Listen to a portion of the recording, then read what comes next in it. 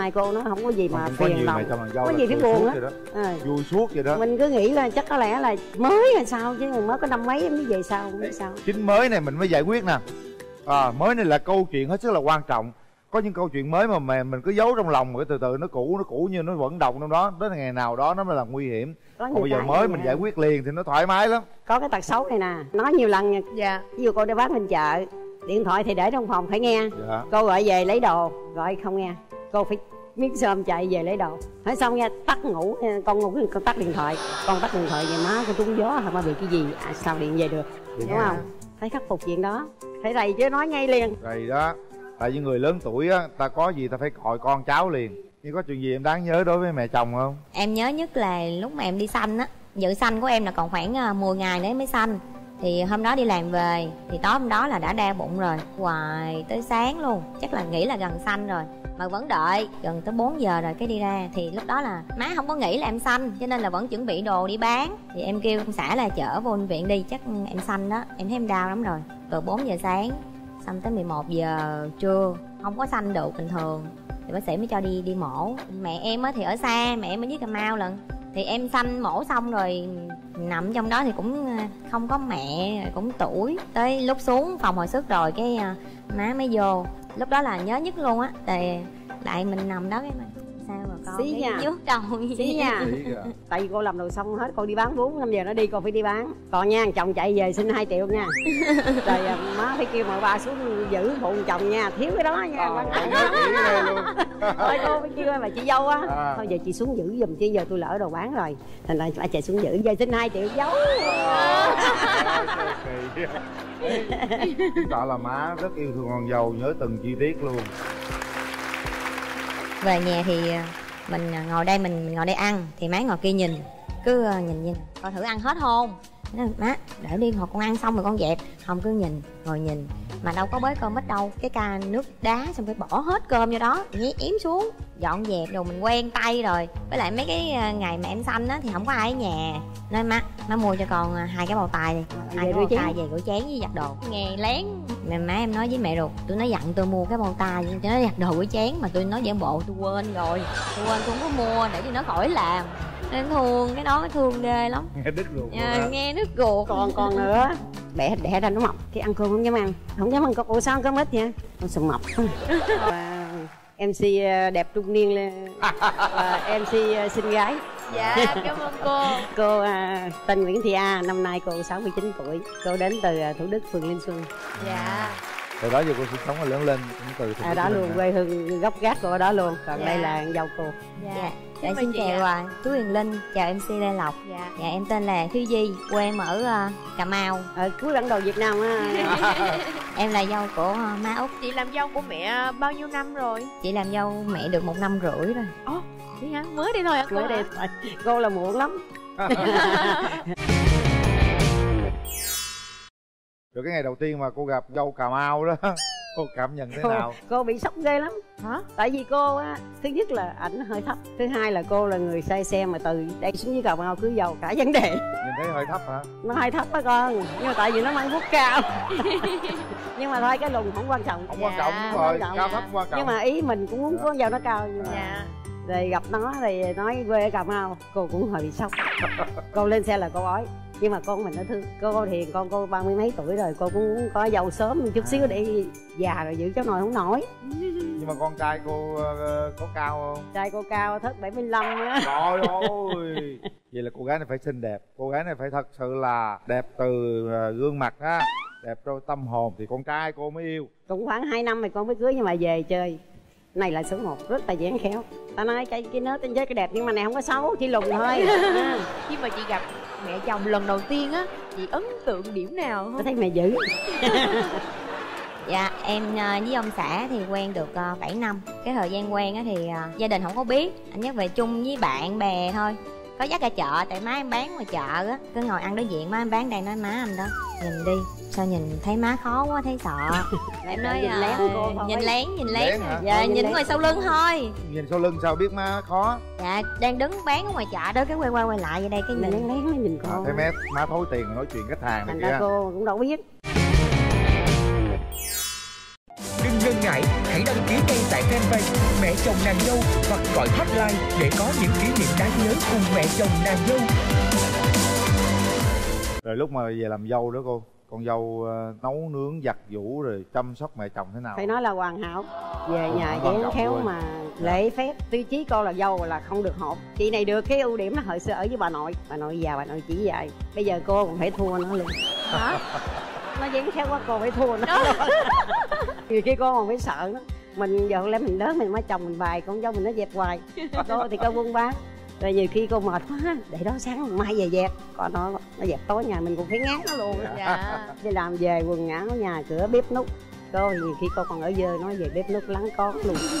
Nói hoàn hảo quá thì nghe cũng khó tin nữa. Dạ. nhưng thật sự rất hảo ở với bà nội già bà nội khó lắm. Chỉ bảo từ ly từ tí thành ra nó về với cô gái là miền không có tây dễ được. thương lắm cô. Người miền tây dễ thương mà dân cà mau dễ thương vô cùng. Dạ, khi mà con dâu về đó thì mình cảm giác rằng là cô gái này hợp với điều gì của mình hả cô? Hợp rất là nhiều điều. Thứ nhất là hát siêng năng nè. Thôi đừng hát karaoke. Già rồi không nổi đâu. Rồi ăn uống rất là hợp. Giải trí nè. À, hai mẹ con giản dị hà tiện chứ tiêu hà tiện lắm á. Dạ. Để dành tiền sắm vàng mà chưa đủ sắm vàng nữa trời ơi. Ê, thỉnh thoảng mẹ con đi chùa dạ. đi chơi thích trồng hoa trồng kiển. Thì nhà cũng có hát đúng không? Có. Này là mê dân cà mau mà ca Dạ. giọng cổ. Bây giờ mình làm câu nào đó làm. Dạ. câu đi can mình thôi nha đừng mất mát ở nhà là má với em tập vợt rồi mà lên đây là má lại thôi không má chịu. ca chung Ờ, xíu chung đi đi. cho nó vui lâu đi. lâu mới Cô có này dịp lên chương trình. Đó em hát câu vòng cổ đi. Rồi em hát ca giọng cổ. Đúng rồi con hát giọng cổ đi. Thương nhau cao bộ làm đôi miếng. Một lá trầu xanh thắm nở duyên. Cứ mỗi chiều về tán buổi chờ.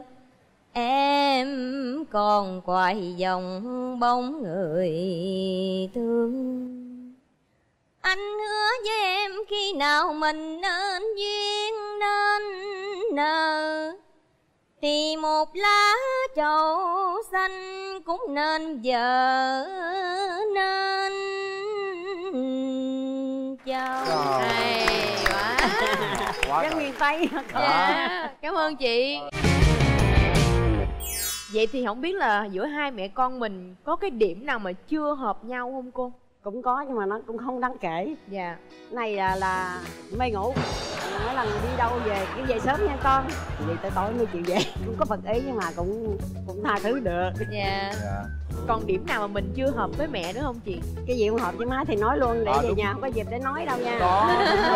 Má mở lòng rồi mở lòng đó cứ nói Ừ. thiệt đi. Thật ra là em thương má như là mẹ ruột vậy đó Tại vì à, 10 tháng á, là em đã ở với bà nội rồi Không có ở với mẹ ruột nhiều.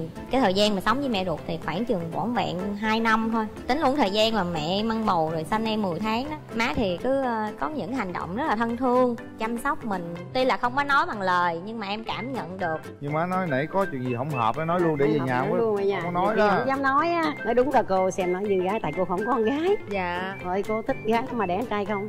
Rồi lần này có bầu đẻ con trai luôn thì hai người là cũng ờ, một tiếp người là phụ nữ của gia đình nên là thích dọn dẹp nấu ăn. Những người mà hợp nhau quá thì cũng ờ, ví dụ như em làm em sắp xếp ờ, chén đũa vậy xong cái nó, không được vậy không được vậy sắp lại sắp lại. Cái má sắp lại cái nó không đúng đúng đúng sắp lại y con đi nè y gì con đi. Cái lần sau má lại sắp lại y giờ khác nữa.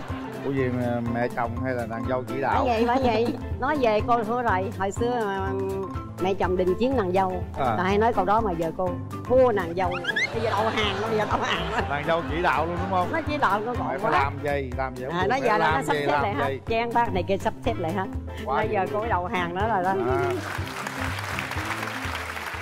cái được cái nó rất là giỏi nó qua bên chợ và cô bán nó qua nó phụ một. Ngày là người ta bên chợ ta khen nó rồi. Dạ. con này nó giỏi cực kỳ. Của con con hôm nay là bao nhiêu tháng rồi? Dạ con được 8 tháng rồi.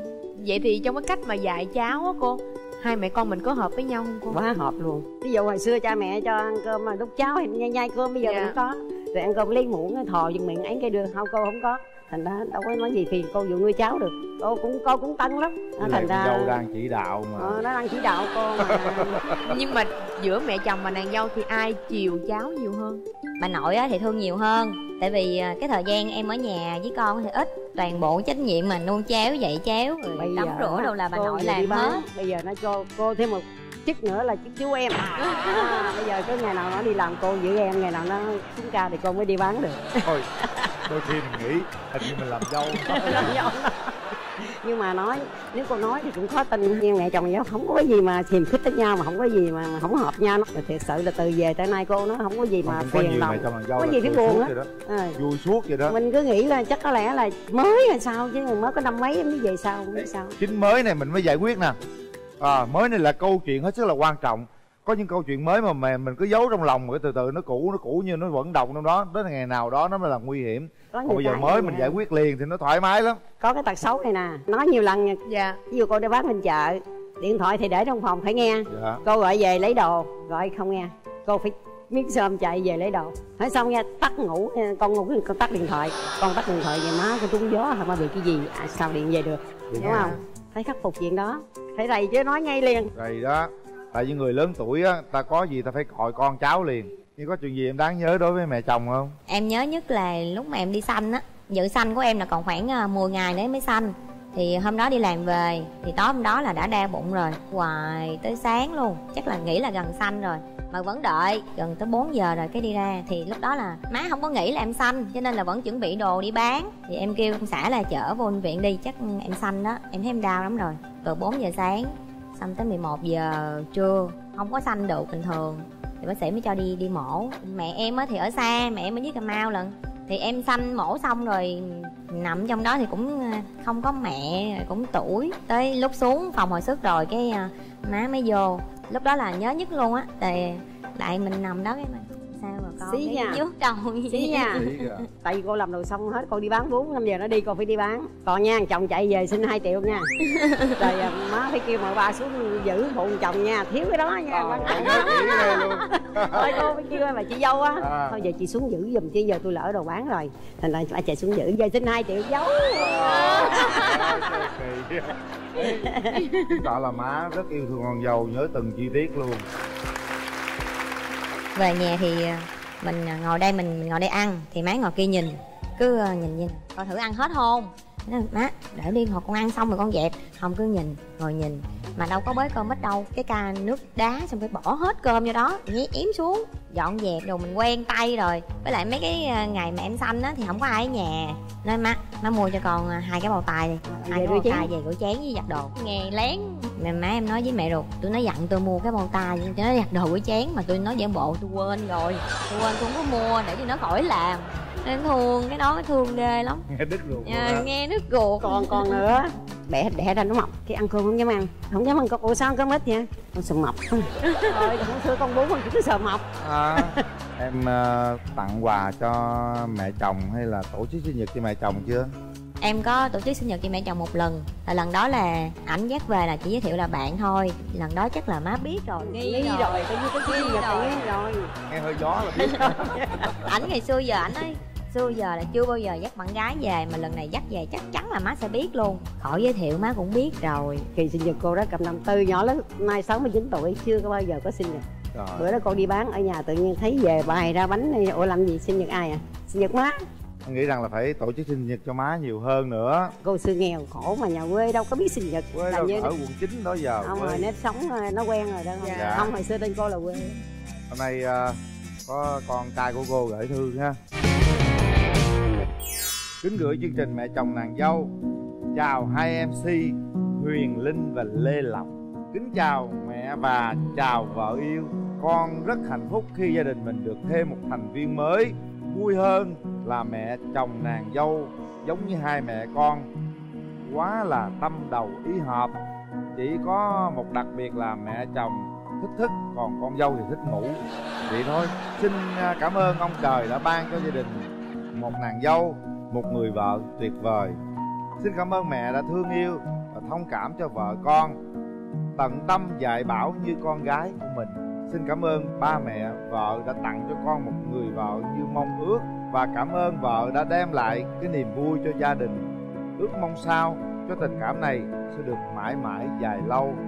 Tâm nguyện của con là sẽ cố gắng ổn định cuộc sống để mẹ đỡ phải vất vả, an hưởng tuổi già con cháu.